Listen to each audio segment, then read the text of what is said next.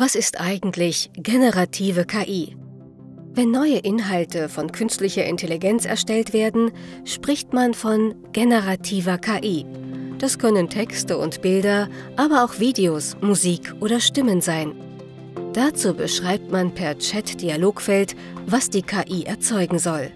Diese Beschreibung wird als Prompt bezeichnet. Die KI-Tools liefern Antworten auf beliebige Fragen, fassen komplexe Inhalte zusammen und generieren in kürzester Zeit vielfältige Ideen. Je nach Anwendung können Kurzgeschichten, Gemälde, Programmiercode oder auch musikalische Kompositionen entstehen. Grundlage für die Erstellung sind große Datenmengen, auf die das KI-System zurückgreift, um daraus Muster und Ähnlichkeiten abzuleiten. Die durch die KI produzierten Inhalte sind neu, Sie sind oft beeindruckend und nur schwer von denen zu unterscheiden, die Menschen kreiert haben.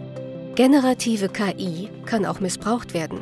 Bei den sogenannten Deepfakes werden mit Hilfe von KI realistisch wirkende Bilder oder Videos erzeugt und als echt ausgegeben. Auch KI-generierte Texte sind nur schwer als solche zu erkennen. Außerdem kann die KI auch Antworten geben, die richtig klingen, aber falsch sind. Man nennt das Halluzinieren. Entscheidend für die Qualität der erzeugten Inhalte ist zum einen die Qualität der zugrunde liegenden Daten und zum anderen die Qualität der Prompts. Für einen souveränen Umgang mit generativer KI müssen wir lernen, die Tools mit sinnvollen Prompts zu steuern und sie reflektiert einzusetzen. Generative KI hat großes Potenzial und kann uns vielseitig unterstützen, zum Beispiel als Schreib- oder Lernpartner. Dabei sollte die KI die Fleißarbeit machen und der Mensch die Fakten verantworten.